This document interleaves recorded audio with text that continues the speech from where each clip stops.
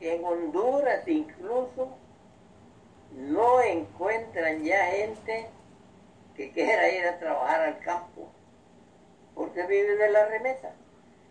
Y los muchachos de 14, 15 años ya ni a la escuela van porque de un momento a otro los papás los mandan a llamar y se los llevan para Estados Unidos. Entonces así está la cosa aquí.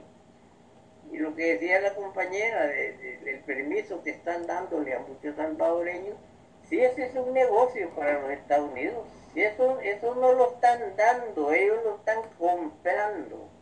Se pagan un dineral por cada residencia que les den para dos, tres años. Es negocio.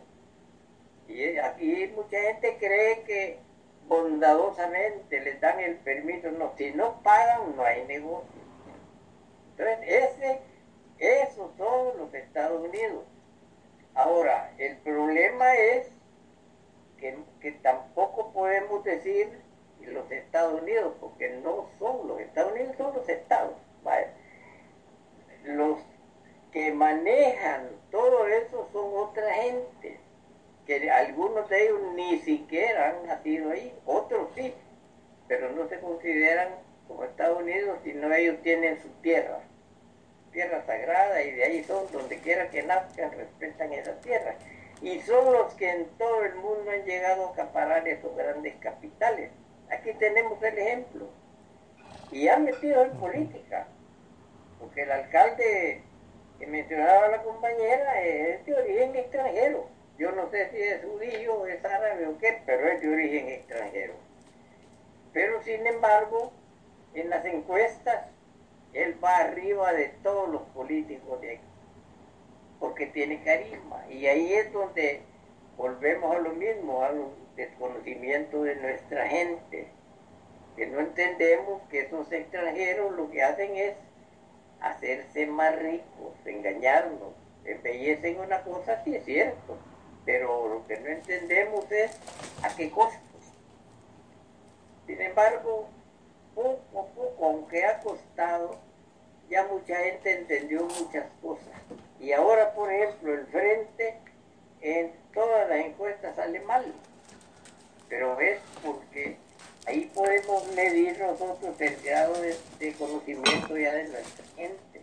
Hoy ya no es como antes, ¿verdad? Que era, era un gran, una gran este, multitud la que tenían en este partido. Eso ya se acabó casi. Ahora tienen ellos aquellos que son sus activistas, los parientes de, los activistas, su gente, que eso es lo que le llaman el voto duro. Pero de todas maneras las cosas se están acabando. Entonces aquí esperamos nosotros que nuestra gente conozca un poquito más. Y yo creo que ya poco falta para emprender y escoger el camino. Ahora tenemos varios caminos, pero debemos de escoger uno, el verdadero, llevar, y, llevar a cabo esa, esa lucha en ese camino con conocimiento de causa. Amigos y amigas, lo están escuchando en, en directo y decimos también a todo color desde Centroamérica, El Salvador, ya hemos respondido algunas de sus interrogantes, obviamente el factor tiempo pues siempre se atraviesa por nuestros caminos, pero em, les en la medida de lo posible, como siempre lo hemos dicho, pues tratamos de darle salida a algunas preguntas y, y bueno, em, respondiendo ahí a su pregunta y a su comentario, no le decimos de que si está bien, no hay problema, aquí se le han aclarado algunas cosas y al parecer em, comparten ¿no? la respuesta que nos acaban de dar los analistas en cuanto a si es Trump o Hillary, eh, la política exterior de Estados Unidos está basada en defender los intereses estadounidenses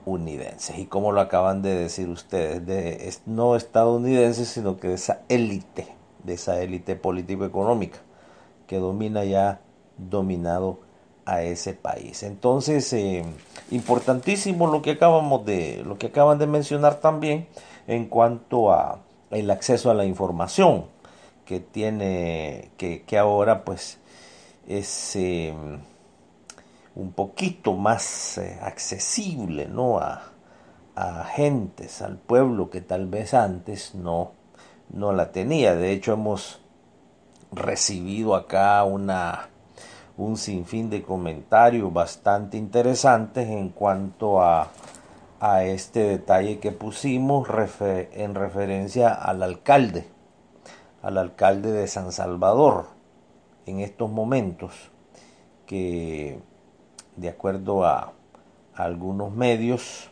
algunos personajes, pudiera ser la carta de presentación que el partido en el poder tendría para las próximas elecciones presidenciales. Ahora bien, hemos recibido comentarios de lo que ya habíamos publicado. Y es que este alcalde, eh, ya ustedes lo mencionaban, le ha vendido al pueblo algunas situaciones que en realidad no las han explicado muy bien y alguna gente las ha creído. Bueno, este alcalde ha dicho públicamente que no cobra o que su salario lo reinvierte en obras sociales dentro de la alcaldía.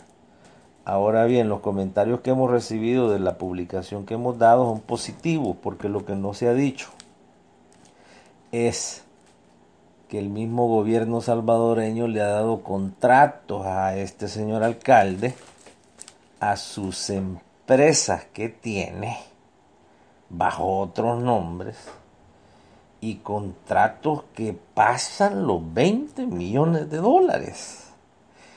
Lo que nuestros analistas decían.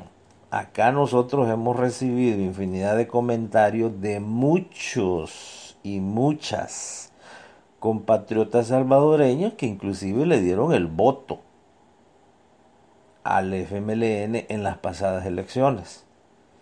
Y dicen hoy, ni Arena ni FMLN en las próximas elecciones. Ahora, bueno, decirles a nuestros analistas en el, en el Salvador que aquí hay muchos agradecimientos de parte de los amigos y amigas y nos dicen que información que hemos presentado aquí los ha llevado a ellos a tomar decisiones de esta naturaleza. Imagínense ustedes el gran impacto que está teniendo entonces los, las redes sociales.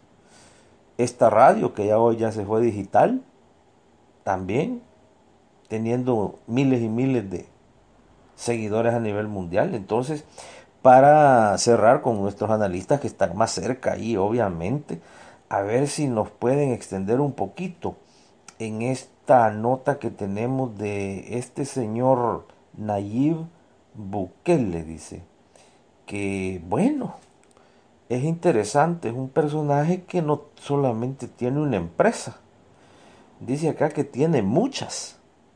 Y, y algo interesante, dice aquí también que han habido contratos que en la licitación habían otras empresas que iban a hacer el mismo trabajo quizás por 10 meses menos, 10 veces menos de lo que cobraba el señor Nayib Bukele a través de sus empresas, más sin embargo el que ganó la licitación fue la empresa de este señor.